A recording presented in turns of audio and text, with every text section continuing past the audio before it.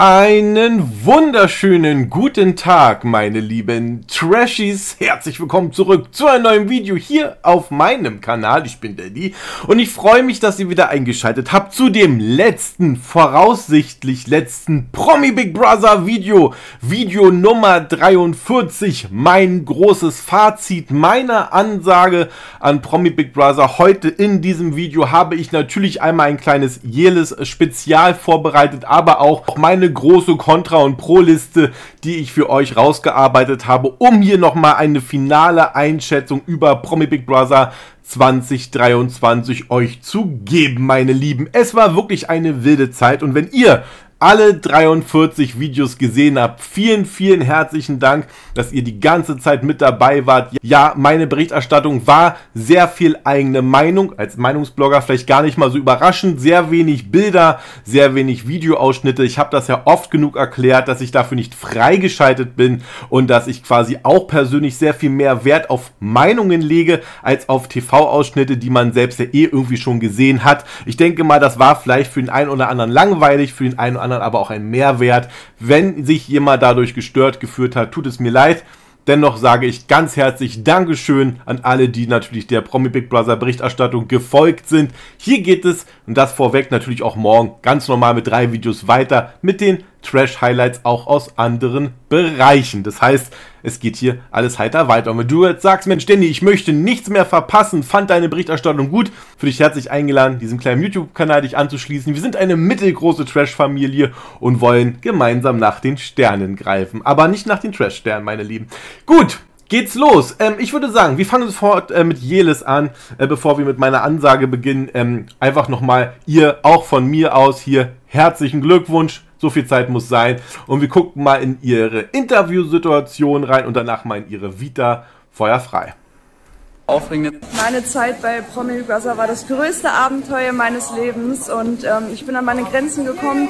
Ich habe sie alle überstanden und bin so stolz auf mich, dass ich ja alles geschafft habe. Kein warmes Wasser, nur Haferflocken, kein Schlaf, so viele fremde Menschen und ich bin trotzdem immer meinen Weg gegangen und ich bin sehr, sehr stolz auf mich. Ich realisiere das absolut noch gar nicht, dass ich gewonnen habe. Es ist ein unbeschreibliches Gefühl. Ich muss das, glaube ich, erstmal verarbeiten, weil ich habe das erste Mal in meinem Leben etwas gewonnen und ähm, es ist eins der schönsten Gefühle. Ich möchte äh, sofort zu meiner Tochter. Äh, sie hat jetzt über zwei Wochen ohne mich, ähm, ja, war über zwei Wochen ohne mich und ähm, ich freue mich sehr auf sie und freue mich auch auf mein Leben zu Hause und äh, ja, auf meine Tochter freue ich mich sehr.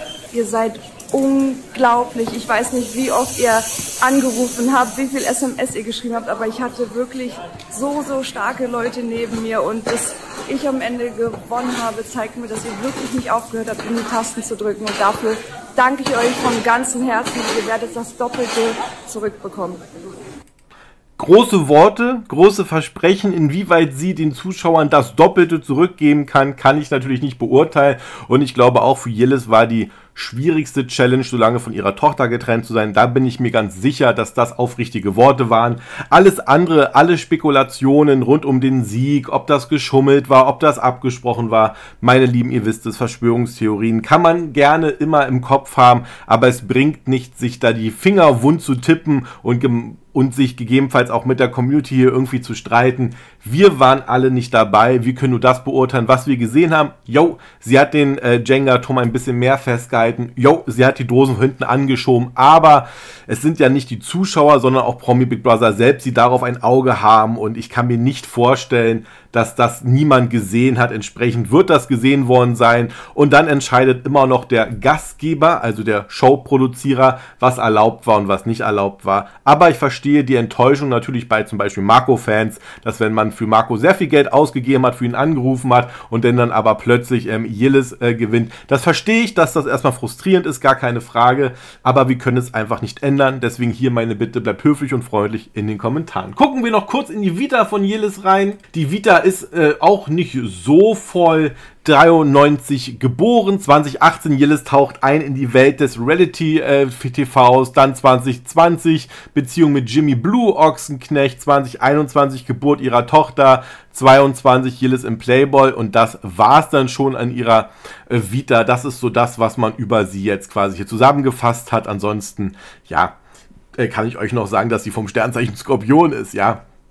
Ich bin da, wie gesagt, relativ entspannt. Yillis hat gewonnen. Herzlichen Glückwunsch. Mehr brauche ich aber auch dazu dann nicht mehr sagen, meine Lieben. Reden wir jetzt aber, reden wir jetzt aber mal über Promi Big Brother selbst. Denn ich habe euch ganz klar gesagt, ich werde mich dazu nochmal äußern, wie ich die Sendung fand, wie die Sendung auf mich gewirkt hat. Ich habe hier eine Pro- und Kontraliste ähm, mir aufgeschrieben, in einer gepflegten Feedback-Kultur fängt man immer mit den Pros an. Das mache ich jetzt auch, nämlich mit meinen vier Punkten, die ich gut fand von Promi Big Brother.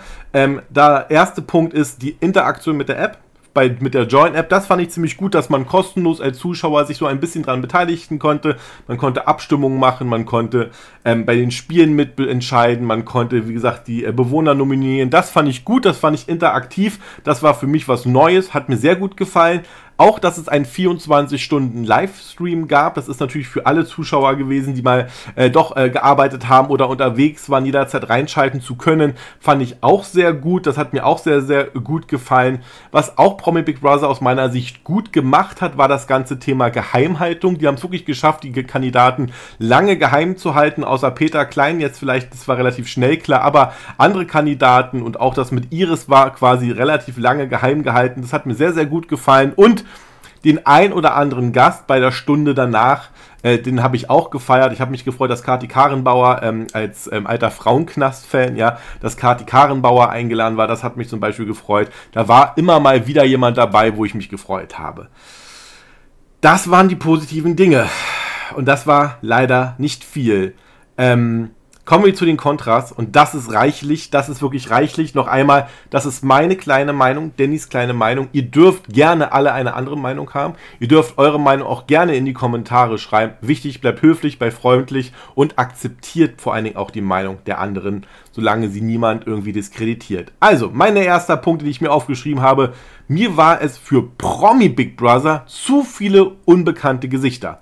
Philo, für mich kein Promi, Dominik Stuckmann, für mich kein Promi. Viele, viele No-Names, wo ich sage, das ist kein Promi für mich gewesen, sondern es waren einfach nur ähm, bekannte Bewohner, aber keine Promis. Also Promi Big Brother ist schon in der Überschrift dem Titel nicht gerecht geworden. Was ich auch nicht so spannend fand, dass dieser Ursprungsgedanke wieder zurückkam, quasi in einem Container mit einem Wohnbereich zu leben. Für mich einer der geilsten Staffel war die äh, Einjahresstaffel, wo es drei Bewohner, also drei Bereiche gab. Einmal der reichen Bereich, dann der Normalo-Bereich und der Survivor-Bereich und wo quasi die Normalos durch die Glasscheibe in den reichen Bereich schauen konnte. Das waren wirklich äh, mit einer der geilsten Promi Big Brother äh, Staffeln. Ähm, ich fand nur einen Bereich zu langweilig. Der Essensentzug fand ich barbarisch von Promi Big Brother. Hier Spannung und Emotionen zu erzeugen, indem die Bewohner nur Haferflocken bekommen, war vielleicht ein Tag, zwei Tage unterhaltsam. Danach hat es einfach nur noch genervt. Man hat energielose, ausgehungerte Zombies durch den Container laufen gesehen und das alles für die Einschaltquoten. Ich hätte lieber zufriedene, satte Bewohner gesehen, die Gas geben, die Bock haben, was zu verändern, aber sie hier nicht bis aufs Letzte zu quälen, hat mir gar nicht gefallen. Genauso auch dieses ganze Klimatemperaturthema. Auch hier haben wir mitbekommen, die Heizungen haben nicht richtig funktioniert, das Schlafzimmer war nicht richtig belüftet. Man hat immer wieder das Problem gehabt, dass das Thema Sauerstoff irgendwie im Schlafraum denn doch zu knapp war. Wir hatten äh, Momente gehabt, was Patricia gesagt hat, dass es einfach viel zu kalt war im Container. Alles hat nach Rauch gestunken von diesen ganzen von dieser Tonne da draußen. Also es war alles extrem unangenehm. Da wurde ebenfalls nicht auf ähm, das Wohlbefinden der Bewohner geachtet. Für mich hatte die Show sehr wenig Unterhaltungswert, sehr wenig Abwechslung. Es war immer das gleiche Prinzip. Wir haben einen Einkauf gesehen, wir haben ein Spiel gesehen, wir haben gesehen, wie die Bewohner den Einkauf wieder abgeben mussten. Das war halt keine Spannung. Das war dann zweimal vielleicht interessant zu sehen, aber das über zwei Wochen immer wieder zu beobachten, immer wieder zu sehen, diese Enttäuschung in den Gesichtern, das hat mich einfach nicht abgeholt, das hat mich nicht unterhalten. Die Moderatoren ähm, ich habe das mal äh, gegliedert in Moderatoren der Stunde danach und äh, Marlene Lufen und ähm, der Schropp. Zu den Moderatoren Lufen und Schropp muss ich euch ganz ehrlich sagen, sie können nichts für die Gespräche, für die Witze, das ist vorgegeben, aber sie wirkten auf mich beide extrem demotiviert, extrem langweilig, die Witze in keinem Zusammenhang gebracht, irgendwie sich nicht so richtig mit dem Game auseinandergesetzt, die Moderationen, die Übergänge zum Teil mir zu schroff, zu, zu nicht lustig zu wenig sarkastisch. Es hat mir einfach nicht gefallen, wie die miteinander äh, die Witze ähm, vorgetragen haben. Äh, Peter Klein die Tränen zu erklären, dass er gerne eine Dreier mit Peter, äh, mit Iris und Yvonne gehabt hätte und ach, was da alles für ein Quatsch erzählt wurde. In den gleichen Bereich ziehe ich auch Matze Knob rein, der dann da gestern mit seinen drei Spottdrehen reinkam. Alles komplett überflüssig aus meiner persönlichen Sicht noch überflüssiger ähm, Jochen Bendel und ähm, ähm Jochen Bendel, glaube ich, Jürgen Bendel, keine Ahnung. Und ähm, Melissa in der Stunde danach ein, ein wirklich ein, ein durchgeplappertes ähm, etwas, alle miteinander irgendwie am Reden, man hat kein Faden, die ganze Sendung ist völlig durcheinander, keiner lässt irgendjemand aussprechen, die Witze genauso blöd, die Interaktionen blöd, man hat einfach nichts verstanden. Die Moderatoren Melissa und er waren oft von ihrer einen Meinung überzeugt, haben mich aussprechen lassen. Ach, es gibt so viele Kritikpunkte, wo ich wirklich gesagt habe, diese, diese Moderation war einfach unendlich schlecht, aus meiner persönlichen Sicht unendlich schlecht. Ähm, dann kommen wir zu dem Videoschnitt der Live-Shows. Die waren genauso unterirdisch. Wenn wir heute gesehen haben, dass zum Beispiel, keine Ahnung, Jürgen rausgewählt wurde, sehen wir am nächsten Tag immer noch Rückblicke mit Jürgen. Und manchmal sahen wir auch nach fünf Tagen des Rauswurfs immer noch Rückblicke mit Jürgen. Und alles drehte sich um irgendwelche Rückblicke, um die Formate voll zu kriegen, weil in den Formaten, das ist der nächste Punkt, einfach nichts passiert ist. Die Bewohner sagten selbst, sie frieren, sie haben Hunger und sie haben Langeweile.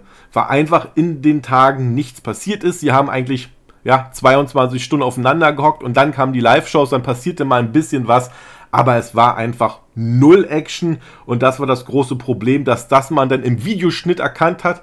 Man erkennt immer die Qualität eines Videos anhand der Schnitte, desto weniger Schnitte, eigentlich desto besser das Video und hier hat man ganz klar gesehen, es waren ständig irgendwelche Rückblenden, immer wieder Schnitte, immer wieder alte Situationen. Wir haben manchmal Situationen dreimal gesehen. Das Coming Out mit Marco, diese Geschichte mit Jürgen und ähm, hier äh, Paulina, diesen Streit, das Gespräch mit Iris und Peter. Das war ja nicht nur einmal Thema, es war immer wieder Thema. Und wenn diese ganze Promi Big Brother Show eine große Überschrift hätte, denn Kreisverkehr der Emotionen. Ganz, ganz langweilig und hat mir gar nicht gefallen. Genauso wie der Inhalt. Der gesamte Inhalt der Show basierte auf den Rosenkrieg der Clients. Sie haben keine andere Handlung sich überlegt. Alles war letztendlich 13 Kandidaten, wovon Peter und Iris die Stimmung entschieden hat. Ein ganz, ganz furchtbares Konzept. Ich weiß nicht, wer sich darüber Gedanken gemacht hat. Ich weiß nicht, warum man gerade so ein Showkonzept darauf aufbauen wollte. Vielleicht, weil man dachte, dieser mediale Rosenkrieg ging ja damals sehr viral, da muss man jetzt nochmal mit aufspringen, muss man nochmal in dieselbe Kelle schlagen. Damit hat sich Promi Big Brother aus meiner Sicht auch keinen Gefallen getan, obwohl die Einschaltquoten ja etwas anderes sagen. Promi Big Brother selbst sagt, es war die erfolgreichste Staffel seit langem, kann ich nicht nachvollziehen. Was ich euch sagen kann, die Zuschauerquoten waren immer so bei einer Million in etwa. Ähm, ist natürlich ein hoher Marktanteil. Mir persönlich hat es nicht gefallen mit dem Rosenkrieg. Was mich auch genervt hat, und jetzt merkt ihr, jetzt kommen wir zu zwei Punkten auf hohem Niveau jammern. Einmal die Musik. Ich fand es so nervig, erstmal A, in den 24-Stunden-Livestreams immer die gleiche Musik zu hören, immer ohrenbetäubend laut. Das hat mir überhaupt gar nicht gefallen. Und der andere Punkt, der mir auch gar nicht gefallen hat, war die Musik, wenn sie zur Arena gegangen sind. Es war immer dasselbe Lied. Es war immer wieder das gleiche Thema, welches gespielt wurde. Und man saß halt einfach da. Und man hatte das Problem, wenn man dieses Lied nicht mag, dann war man jedes Mal genervt. Keine Abwechslung. Immer wieder die gleiche Wiederholung. War auch super nervig. Und das letzte, was ich wirklich extrem, extrem, extrem ähm, verurteile, waren die Sendezeiten. Wir haben Sendezeiten gehabt, die waren so spät in der Nacht, dass es für normale Menschen, die arbeiten, so wie ich auch, einfach man nicht in der Lage war, da irgendwie das sehen zu können. Man musste wirklich sich quälen, aufzubleiben, um denn dann eine Sendung zu sehen, 90 Minuten mit extrem langen Werbeunterbrechungen und mit vielen Rückblicken zusammengeschnitten, dass es letztendlich eigentlich immer nur darum ging, irgendwie krampfhaft wach zu bleiben, um am Ende denn dann zu sehen, wer denn dann geht.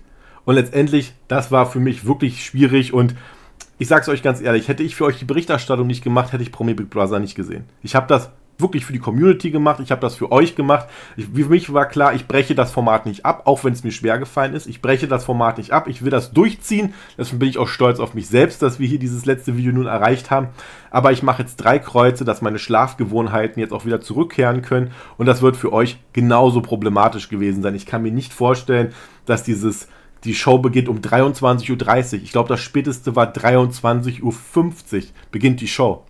Da wurden andere Programm-Highlights vorgezogen. Das kann ich einfach nicht nachvollziehen. Klar ist es für äh, Satte 1 schwierig gewesen zu sagen, wir machen Promi Big Brother immer um 20.15 Uhr, immer um zur Prime. Das kann ich mir schon vorstellen, dass das äh, für äh, Sat 1 äh, schlecht war, aber so wirklich nicht korrekt und es war einfach eine Qual. Für mich persönlich war es eine Qual und ich bin so froh, dass es vorbei ist. Mein Gesamtfazit, yo, Promi Big Brother 2023, eine Staffel im Zeichen des Rosenkrieges von Peter und Iris.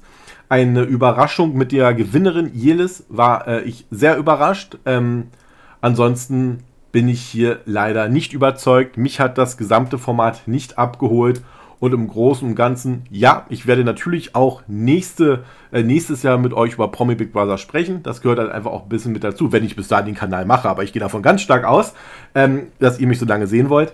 Ähm, wenn ihr nicht da, ist es natürlich schade, aber wenn ihr mich so lange sehen wollt, dann machen wir nächstes Jahr auch Promi Big Brother. Vielleicht nimmt der Promi Big Brother auch den ein oder anderen Kritikpunkt aus meinem Video an.